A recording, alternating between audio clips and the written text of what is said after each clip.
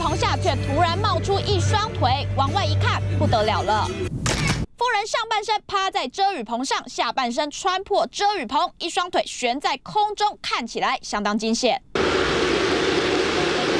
消防人员到场，赶紧搭梯子爬上遮雨棚，先是用绳索固定，再将洞口剪开，费了好一番功夫，才将没有意识的妇人救出送医。